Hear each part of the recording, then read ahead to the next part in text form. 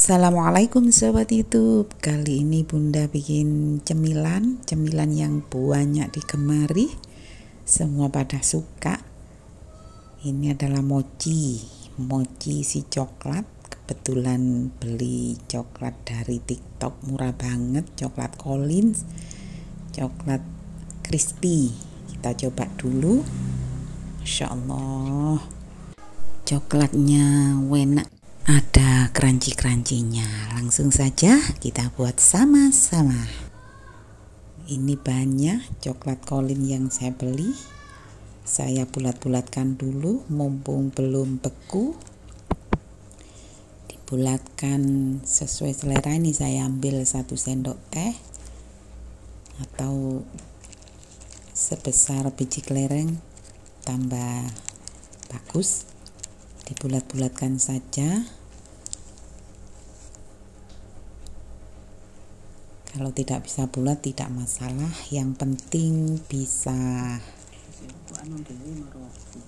mudah untuk diisikan ke mochinya nantinya. Ini selagi masih nunggu beku saya akan menyangrai tepung maizena secukupnya kurang lebih 50 gram. Disangrai kalau sudah agak ringan matikan api. Ini sisihkan sejenak kalau sudah disangrai langsung saja kita buat adonan mochinya masukkan tepung ketan 15 sendok makan atau 150 gram. Saya tambahkan 1 sendok makan gula dan sejumput garam lalu tambahkan minyak goreng 1 sendok makan campur dan tuang airnya. Airnya sedikit demi sedikit dulu kurang lebih satu gelas.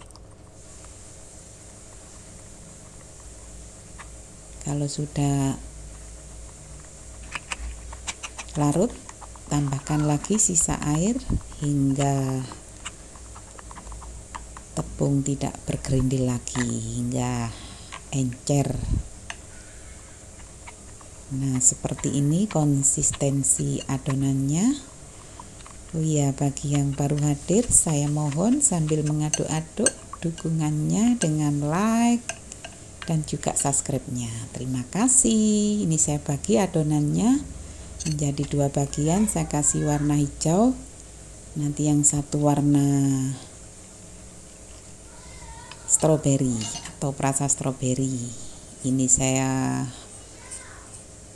pindahkan dulu di wadah lain karena tempatnya mau saya buat merebus mochi. Saya tidak mengukusnya saya hanya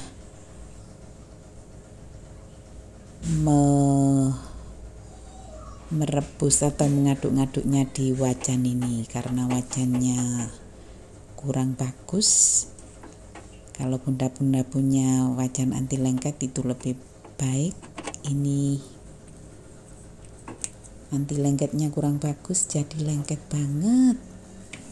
Ini sudah matang saya akan meletakkannya di tepung maizena yang sudah disangrai.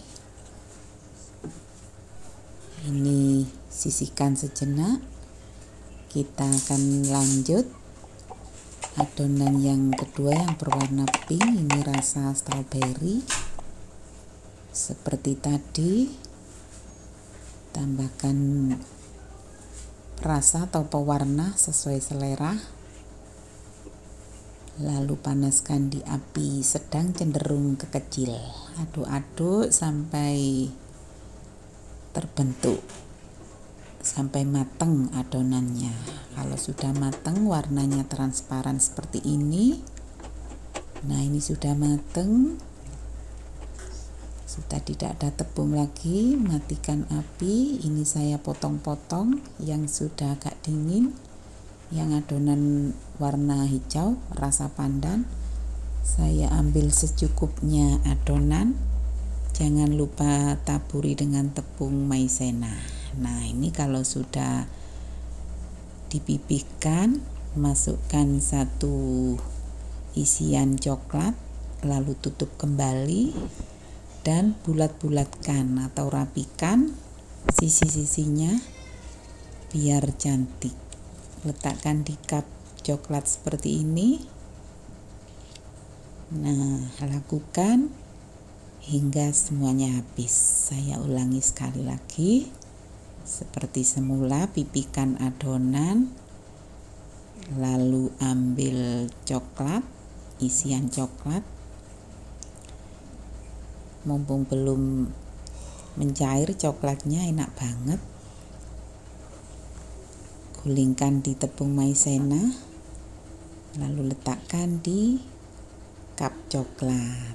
Nah sudah selesai yang hijau ini yang warna pink atau yang rasa stroberi saya adonis sebentar lalu saya potong-potong seperti tadi dibagi menjadi beberapa bagian. Setelah itu ambil satu potongan pipihkan dan masukkan isian coklat.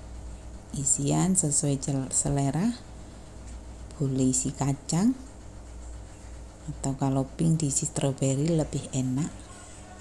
Jangan lupa biar tidak lengket taburi dengan tepung maizena dan letakkan di cup coklat. Nah ini sudah selesai. Satu buah lakukan hingga adonan pink dibentuk semuanya.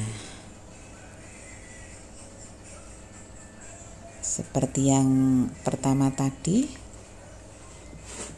letakkan. Ini sudah mencair coklatnya tidak bulat lagi jadi ini saya buat lebih kecil biar mudah saat mencetak. Nah sudah selesai.